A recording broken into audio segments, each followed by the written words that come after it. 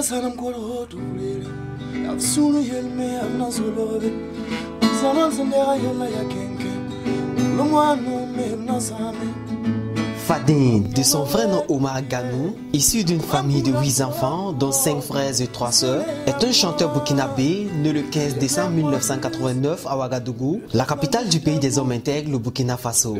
Omar Ganou passe son enfance à Sibi, une localité située à 12 km de Boromo, dans la boucle du Mouhoun. La voix basse d'une mère voyant l'amour qu'a son fils pour sa passion qui est la musique, jusqu'à faire le tout pour le tout, nous témoigne la mère.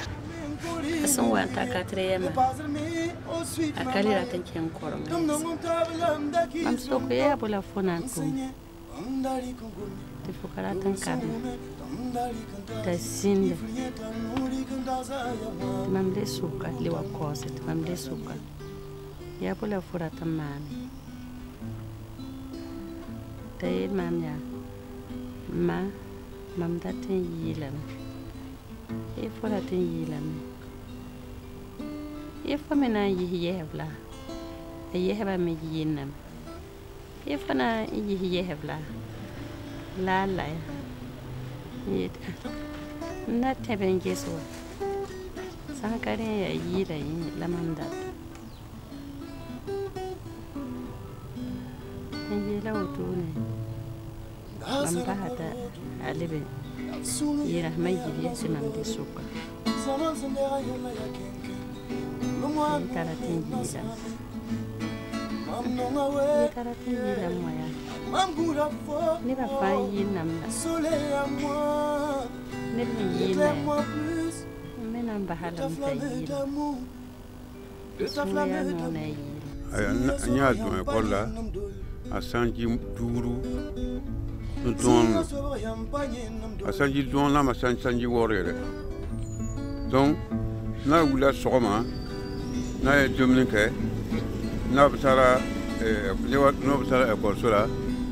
A b'a fɔ n ta ligiri n ta ligiri. Parce que hali n'a ye so dun ka fa a b'a fɔ n ta taa ligiri. Donc mɔgɔ yɛrɛ tun t'a tɔgɔ dɔn tugun ko ganu umaru mɔgɔ t'a tɔgɔ ta donc n'a bɛ se kɔtɔ a b'i bugɔli parce que donc a kɛra ten. Donc a ye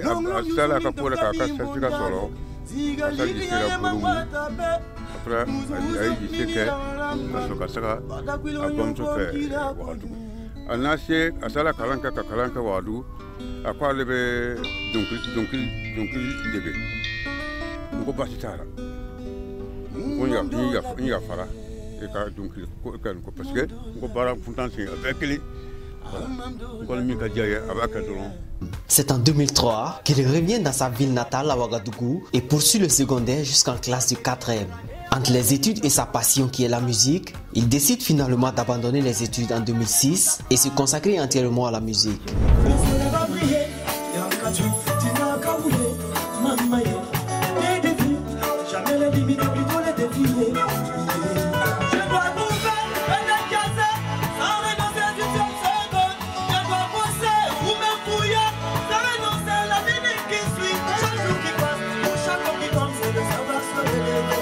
Omar Gano fera face à certains de ses frères et sœurs de la famille qui s'opposeront à cette nouvelle aventure et vision, dont leur petit frère Ayu, qui est d'abandonner les études et faire la musique. Si ceci est ton choix de faire la musique, que Dieu t'aide et t'accompagne.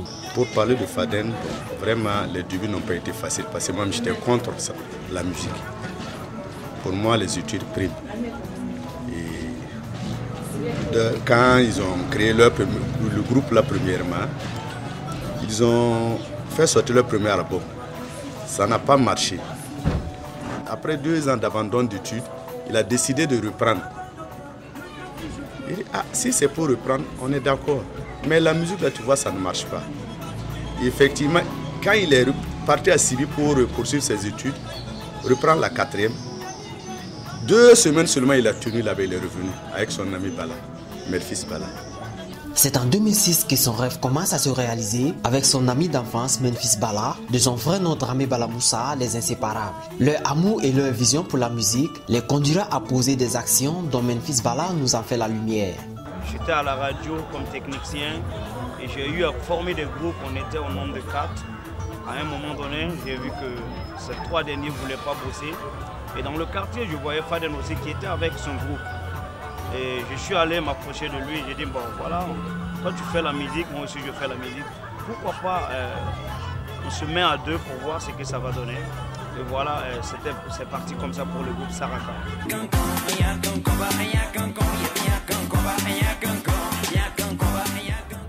Je suis la seule personne au Burkina ici qui connaît mieux l'artiste.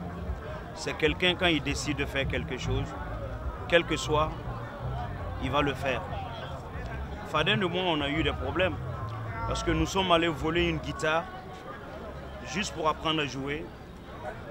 La guitare, c'était pour un ami rappeur.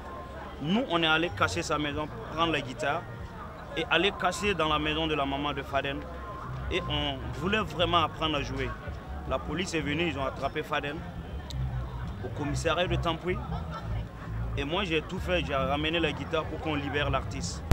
De retour dans la capitale, Fadin s'est dit suffisamment armé pour reprendre la musique. Il enregistre dans la foulée un single pour tester son talent. Ce single n'est pas officiellement sorti dans les bacs à disques, mais il avait pour but de prester dans les discothèques pour jouer son audimat. C'est à travers son single intitulé Sami qu'il bénéficia de quelques plateaux dans les cabarets et se fera repérer par un responsable de radio, en l'occurrence Wanye Zerbo. Ce dernier étant webmaster, lui proposa de lui créer un blog où toutes ses prestations y seront diffusées.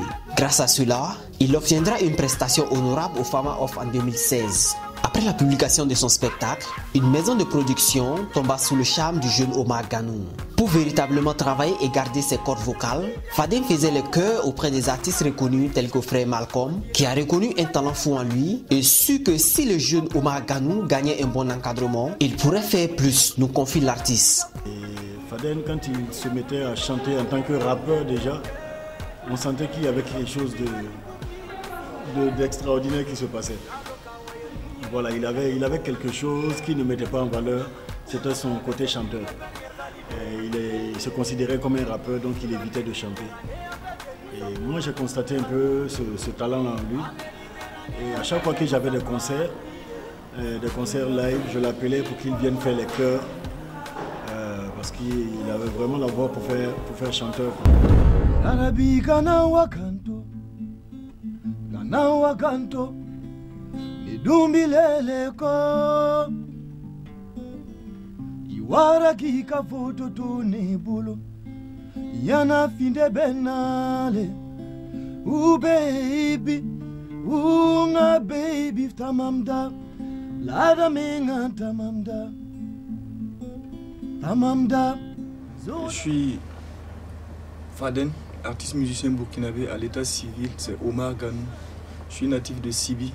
La musique est venue en moi de façon héréditaire, j'aime le dire comme ça. Parce que dans la famille, je ne suis pas le premier artiste. Il y a mon oncle, côté maternel, euh, qui m'a dévancé. Je pense que c'est lui d'ailleurs qui m'a inspiré quand j'étais petit.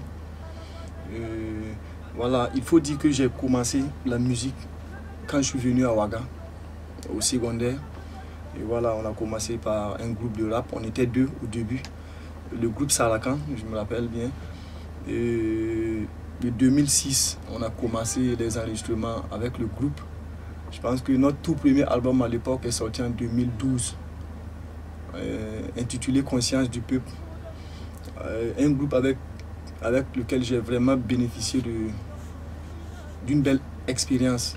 Le parcours avec le groupe a pris fin en 2014 c'était pas facile de joindre les deux bouts. Surtout la réalité que l'on vit ici au Burkina, c'est pas facile. Il faut, il faut vraiment chercher à faire quelque chose pour pouvoir subvenir aux petits besoins.